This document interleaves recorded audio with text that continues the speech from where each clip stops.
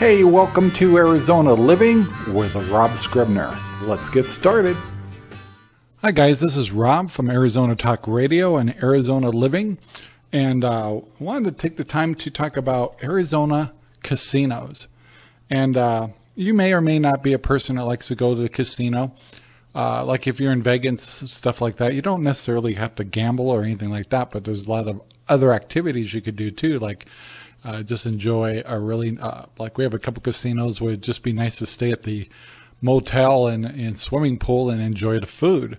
Uh, but and uh, one of the things in Arizona that's kind of unique is uh, Arizona people like to find ways to escape, especially in the summertime when it's really hot, to places like movies and uh, shopping and things like that. And another thing that's really popular is, of course, uh, casinos. So, what I wanted to talk about a little bit is we have some great casinos. We have casinos all over the place. Uh, one of my favorites is uh, Casino Arizona. Uh, it just seems to do pretty well. We go to uh, Fort McDowell a few times. We've gone up to Talking Stick. Uh, there's some down south that uh, we like. I can't remember their names. anyway, they're they all have a different flavor and they're all a little different. And it really comes down to if you like to gamble, and gambling can be kind of fun, but you got to learn how to manage your money. So uh, you can have a wonderful time with $200 in your pocket and being conservative and uh, learning to say when that $200 is gone, you're done. That was your entertainment. Uh, of course, when you go to casinos, you have to decide do you want to play slot machines, video poker, or just play the tables. Of course, your odds are a lot different. Uh, you know, everything is in the odds of the uh, casino, uh, but some are better than others. So uh, Sherry and I, we we enjoy going to the casinos, and we love to play slot machines, knowing that they're not the most profitable things. And uh, some nights you can go home with uh, you know what you spent, and sometimes you have a profit. But most of the time, you are just donating to the casino. But it's entertainment, and so it all depends on how you look at it. But uh, if you uh, want to enjoy a night of just being an adult and and enjoy the bells and whistles and then uh, the yelling and screaming and the uh, uh, excitement of possibly winning something uh, exciting, that's that's what casinos are all about. And so I definitely you know, if you have any issues about addictions or anything like that, then obviously a casino is not for you. But most of the time, uh, most people can go there, uh, learn to regulate their money, regulate and manage money, and give yourselves a budget. And I was going to show you a couple of things that Sherry and I do, um, and uh, two products I wanted to show you. One of the things is casino slot machines are pure luck. There is no uh, magic way of winning one over the other. It's just uh, the random number generators are inside the machines, and it's just if you hit the right combination, that's what plays on the on the slot machine. And of course, the odds are uh, in the casino's favor. Uh, another one that's, uh, you know, of course, if you played the table games, that takes more skill and uh, actually has more uh, a better percentage of allowing you to win. Uh, but you also have to be fairly skillful and know what you're doing. But it doesn't mean you won't be going home with an empty wallet. Uh, one of the other things, if you like video machines, one of the ones you might want to consider is video poker. Uh, video poker has better odds and it actually takes uh, some skill and you can actually do a little better, at least make your money go longer in video poker machines. So there's two things I was going to show you uh, that might be helpful to you if you decide to go to a casino. And if you're in Arizona, we have some wonderful casinos, but let me uh, show you a couple of things I have here. One is I actually have physically both of these. Is one is called the uh, the uh, the gamble box, and I'm holding it up right here. Now, this little gamble box is kind of neat because if you're playing slot machines or video poker or whatever, and say uh, you started with 200 and you actually won three or 350 or something like that, take that 150 and put it in this little box.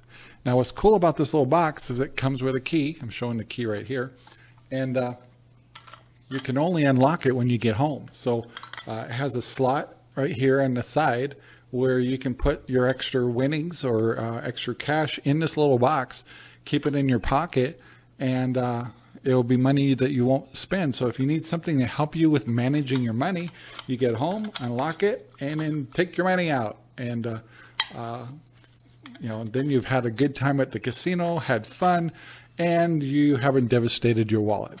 And uh, so these things are very affordable, and I'll put a link in the description below if you'd like to get one of these. I uh, I think they're uh, a neat little tool just to kind of help you manage your money better. The other thing that Sherry and I have learned to do is uh, is to spend more time playing video poker. Video poker is a little slower game, uh, but takes more skills. And we picked up this book right here. Uh, so I'll put it right here where you can see it.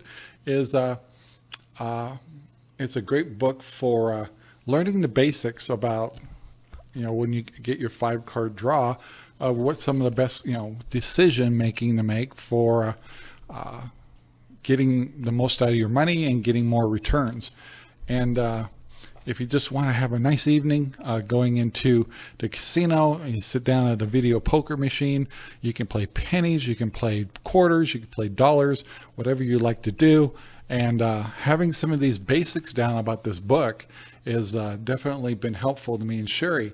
Uh, I'm not kidding you. Yesterday, we actually went to Casino Arizona. I played video poker, um, and uh, literally, and it was a 25 cent machine. By the time I was done, uh, I actually uh, made over made about $150 profit. Sherry, however, just donated. so, but uh, you know, when we play together, we share our money anyway. So it was uh, uh it went well. The common sense. Uh, there's also cards in this book that you can uh, put in your wallet to help you with combinations to help you make better decisions on picking your five card draws. So I just wanted to share that casinos can be fun, uh, and it really uh, I highly recommend that you learn how to manage your money. And um, in the summertime, especially in this, uh, in you know, in Arizona here, it gets really hot. So people are always looking for things to do indoors, and a casino is a great way to go. Uh, Sherry and I tend to want to go in the mornings or afternoons because it's a little less crowded. And uh, it doesn't matter, um, especially if you're playing slot machines or anything. Uh, the chances of winning in the morning or afternoon or evenings are all the same. They're all preset machines. They don't change them during the day. They uh, they use little chips in there, and it's very costly for them to change the chips if they wanted to. And by the way, uh, slot machines are typically are not networked, so there's nobody in the back room going, "Let's make it harder during a Saturday night." Doesn't it doesn't change a thing. And uh, also, you might have heard some myths like machines closest to the door might win more than the ones in a in the middle and all that stuff. That's a myth too, because they're just machines with random number generators all set at a certain percentage that that casino wants, and that's just how it is. And so you can think what you want. You can think these machines have a little bit of a AI to them and stuff. They really don't. And uh, so, yeah, anyway, good to know. But I wanted to uh, in, uh, share with you a couple of really neat products that Sherry and I use to uh, manage our money better and also to uh, maybe learn a little bit about video poker and uh, make your money go a little farther and at least not lose it as fast. And, you know, if the random generator works great for you, also uh, you might actually take some money home. so, if you think that uh, you could make a profit doing this kind of stuff in a casino, it's just uh, going to happen. It's all about entertainment. So, I want to thank you for watching.